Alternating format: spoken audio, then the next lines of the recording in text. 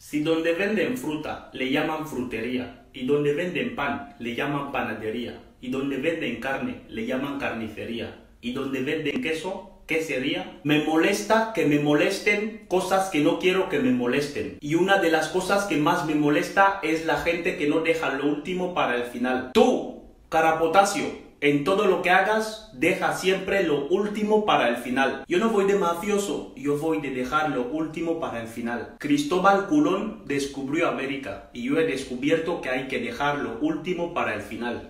Si quedas conmigo, asume que llegaré 30 minutos tarde, porque las cosas buenas tardan en llegar. Y en el año 2024 yo quedé con mi primo Ismael Toyota y él me dijo que le diera un consejo. Y yo le dije, primo Ismael, deja siempre lo último para el final. Quiero mandar un mensaje a todas las chicas con novio. Si eres feliz con un novio, imagínate con cinco. Hay que pensar en grande. Te falta barrio, te falta visión empresarial. Y si quieres pasar de tener un novio a tener cinco novios, empieza por el principio. Sigue con lo siguiente y deja lo último para el final.